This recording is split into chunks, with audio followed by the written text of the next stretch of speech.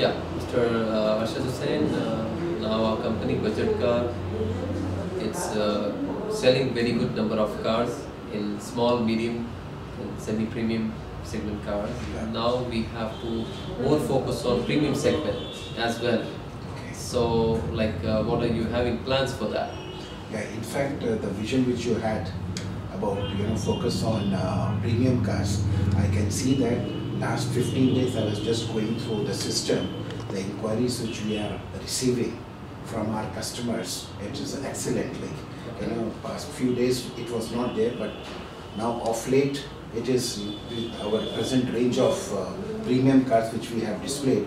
It is attracting a lot of customers. That's good. That's And uh, good. let me also tell you, like car evaluators exclusively for premium cars, we have in place. Okay. Uh, okay. of, we were already having two guys, and we have taken another two recently. So we have four car evaluators now. Oh, that's that's so really they good. are That's in really place, and now we can you know go in full swing in uh, taking the cars and increase our uh, premium cars uh, display. Like. Yeah. All the best for the premium segment car sales. Thank you so much, sir. Thank All the so best. much.